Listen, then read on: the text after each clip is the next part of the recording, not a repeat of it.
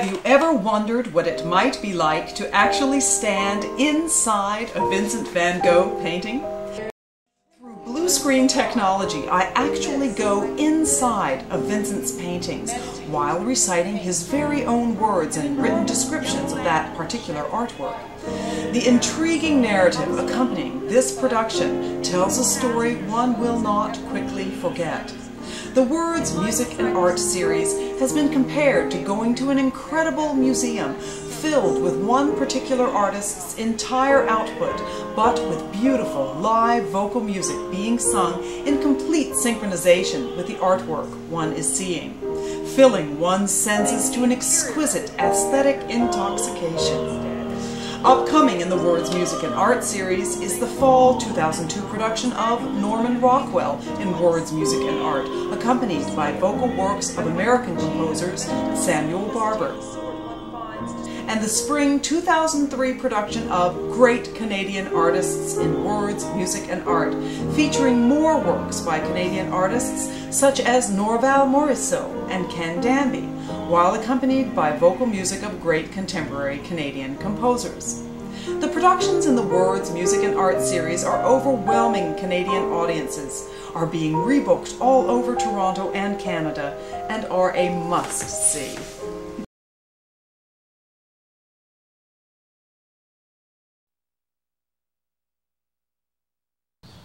Hello, and welcome to the Toronto, Canada-based online performance studio. The Online Performance Studio is a state-of-the-art digital audio and visual production facility serving a growing international audience through its connection to the internet as well as a local Canadian one. Officially launched in the fall of 2001, the Online Performance Studio is the result of years of planning and development by myself, Linda Maguire, a Toronto-based musician and classical vocalist. Perhaps the most popular of the online performance studio releases are the exciting live vocal, live performance productions in the Words, Music and Art series. In the 65-minute live sung presentation of Emily Carr in Words, Music and Art, I host on film and present the bulk of this great Canadian painter's output after having categorized Emily's artwork into various themes, high-resolution images imported from the internet are then tastefully edited together and accompanied by carefully chosen favorite classical songs and arias.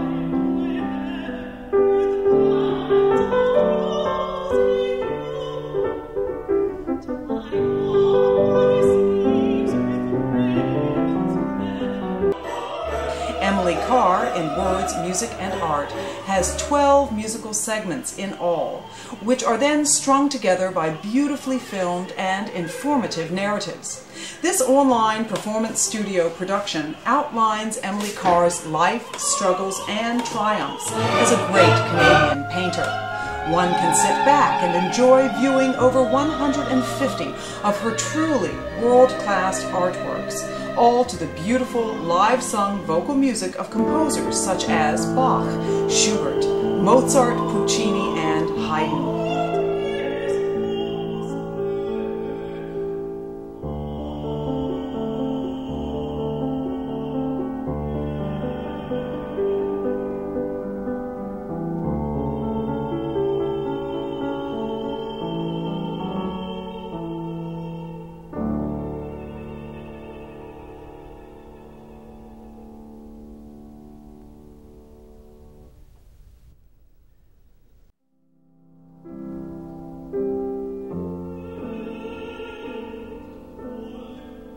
There have been numerous future rebookings of this particular live concert multimedia production, as well as great interest in the accompanying 80-minute Words, Music and Arts presentation on Vincent van Gogh.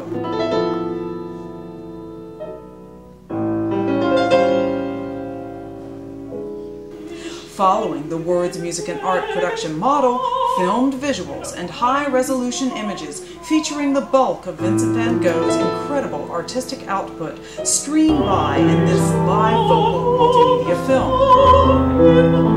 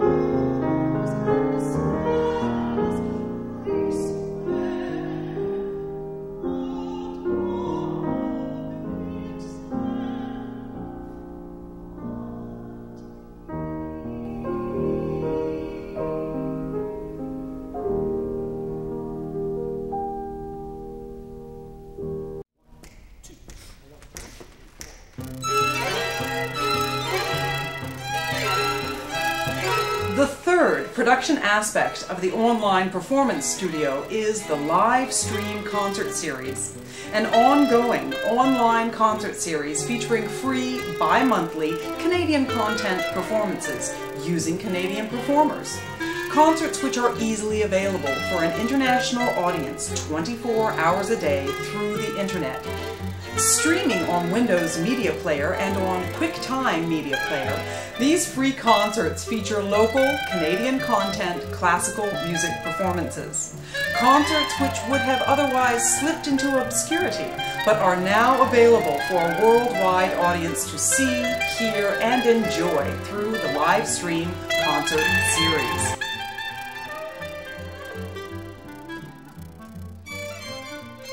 The live stream concert series is now showcasing its third online concert, featuring Toronto's newest string quartet, the Talisker Players, in wonderful new jazz arrangements by Canadian composer John McLeod. This concert also features sizzling jazz clarinet playing of Toronto's Bob DeAngelis, along with vocalists baritone Greg Dahl and myself, Linda Maguire. The online performance studio has received emails and accolades from all over the world for this particular endeavor.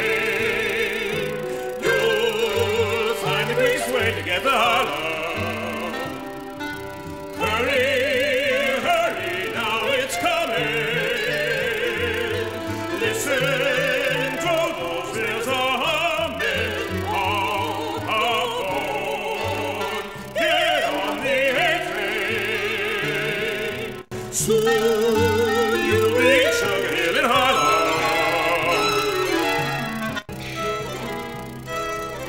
It can be heard today at www.lindamaguire.com forward slash video.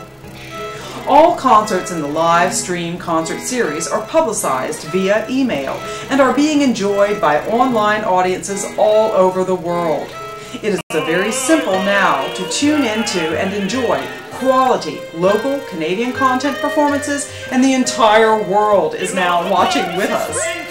Future concerts in this series include projects that involve works by Canadian composers such as Andrew Ager, Srul Irving Glick, Timothy Sullivan, Harry Freedman, and many others. The ultimate goal of this particular online performance studio endeavor is to tie in with various existing local concert series and then relay these performances to the entire world through the internet.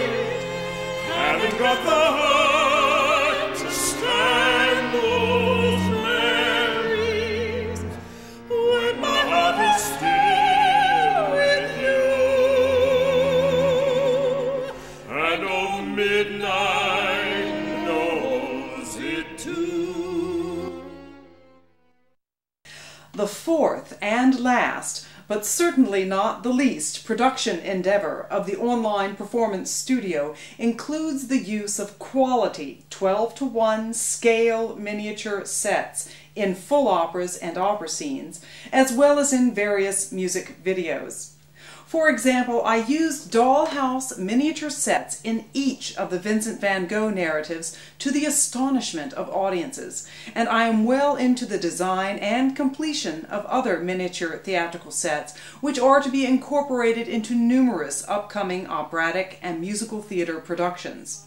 As a seasoned collector of miniatures and fine dollhouse collectibles, I have long been developing the judgment, technical skill, and finesse necessary to produce exhilarating new productions which combine easily accessible blue screen technology, layering, and film compositing techniques with beautiful period sets, making this innovative part of the online performance studio work a fast reality and overwhelming success.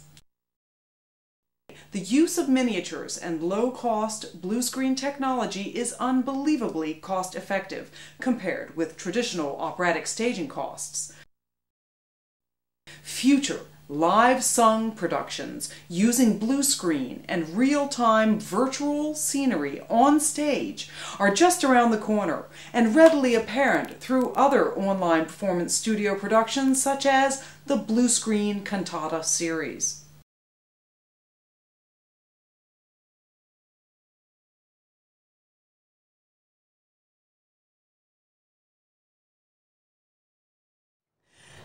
Hello, and welcome to the Online Performance Studio's presentation of Oneness, Emily Carr in Words, Music, and Art.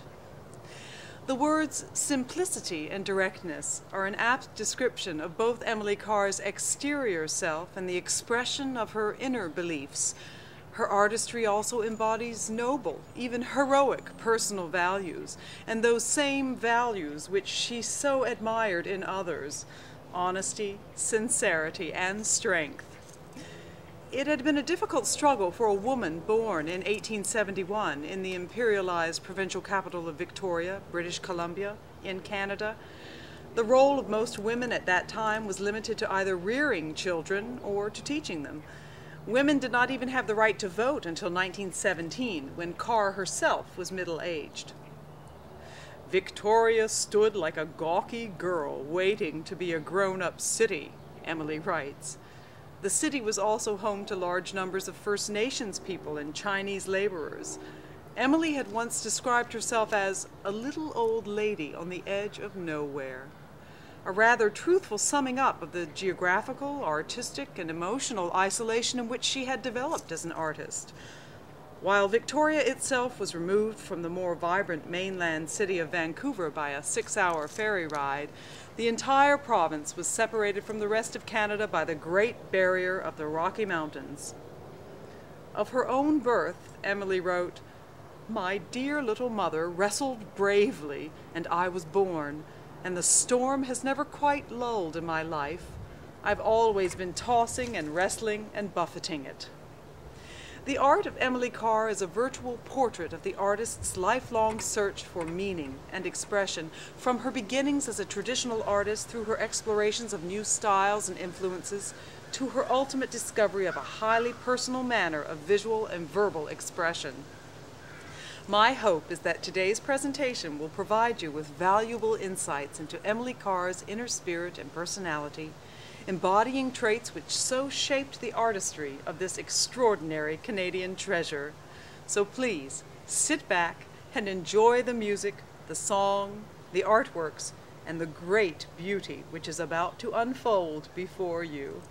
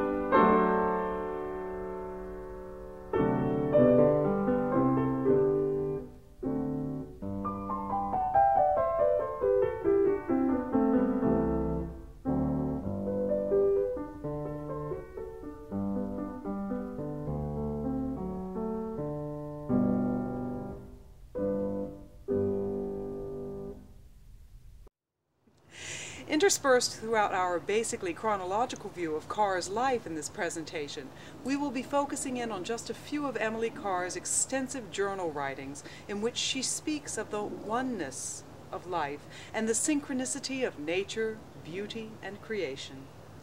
This concept of oneness is clearly reflected in her conceptualization and interpretation of God, in her published journal, Hundreds and Thousands, she comes back to this basic inspirational feature of her work time and time again, speaking of it fervently and eloquently. It was as though she were devoted to nature, which was the breath of life itself, a nature whose name was God. The only thing worth striving for is to express God. Every living thing is God made manifest all real art is the eternal seeking to express God, the one substance out of which all things are made. Emily Carr.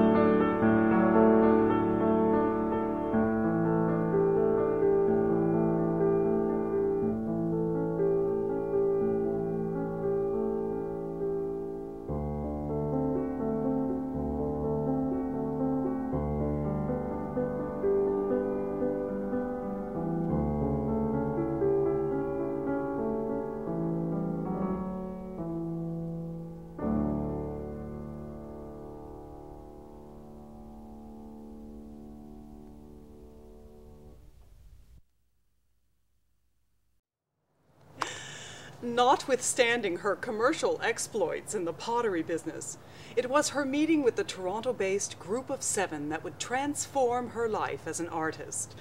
In her journals, Carr writes with breathless excitement about her visits to the studios of the artists who were revolutionizing Canadian art and about the range of expressions she saw in their work. A.Y. Jackson's paintings offered a rhythm and poetry that she felt her painting lacked, and in Arthur Lismer's work she admired the sweep and rhythm of the lines, stronger colors, and simpler forms. But the artist who impressed her the most was Lawren Harris, whose work caused her to exclaim, Oh God, what have I seen? Where have I been? Something has spoken to the very soul of me, wonderful, mighty, not of this world. Within the group of seven's bold, colorful style and its passion for the Canadian landscape, she found an echo of her own efforts to express the spirit of the West Coast landscape and culture. Encouraged by the artist's acceptance of her work, and especially by Harris's words, You are one of us. Carr returned to Victoria, resolved to look for things I did not know of before, and to feel and strive and earnestly try to be true and sincere to the country and myself.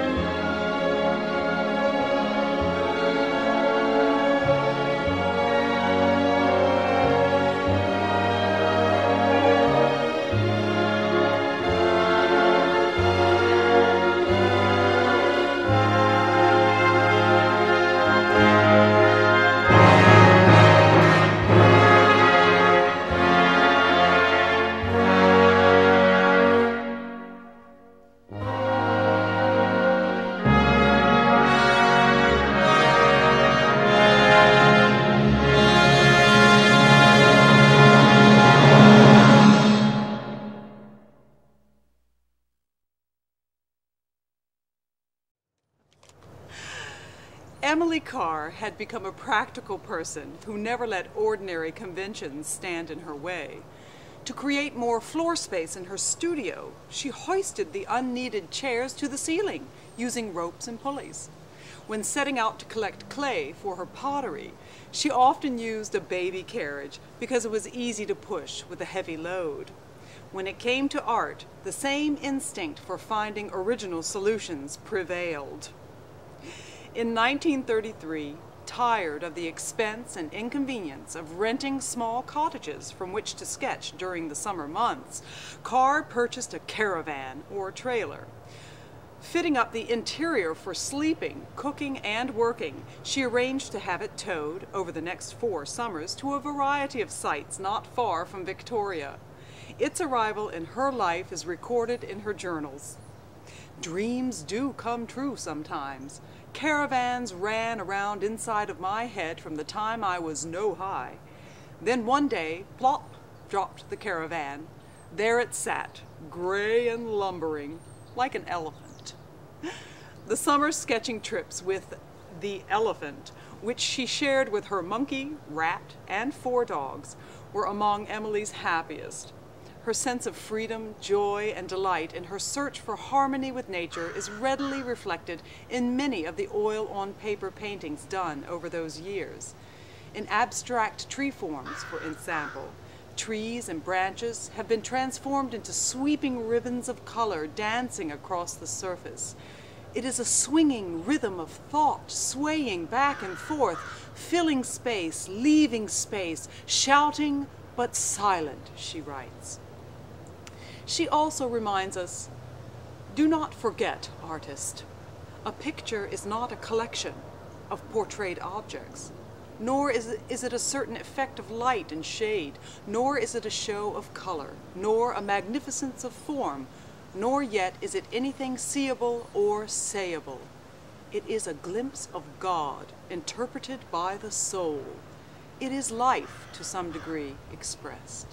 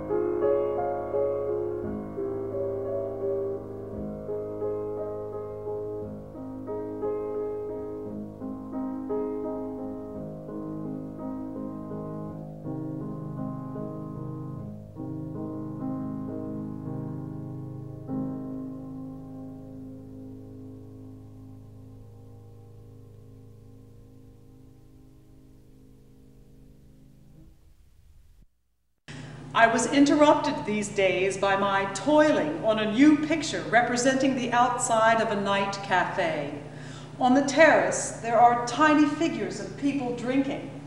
An enormous yellow lantern sheds its light on the terrace, the house front, and the sidewalk, and even casts a certain brightness on the pavement of the streets, which takes a pinkish violet tone. The gable-topped fronts of the houses in the street, stretching away under a blue sky spangled with stars, are dark blue or violet, and there is a green tree.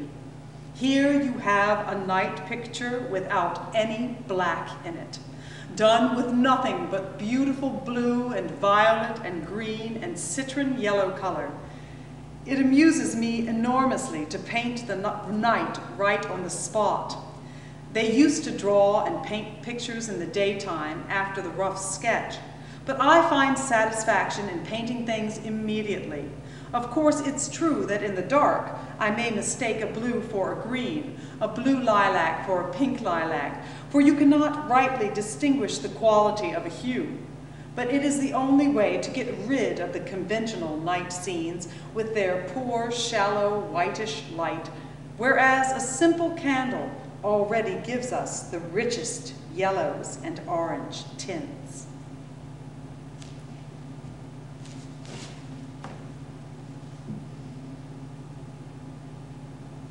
My house here is painted the yellow color of fresh butter on the outside with glaringly green shutters.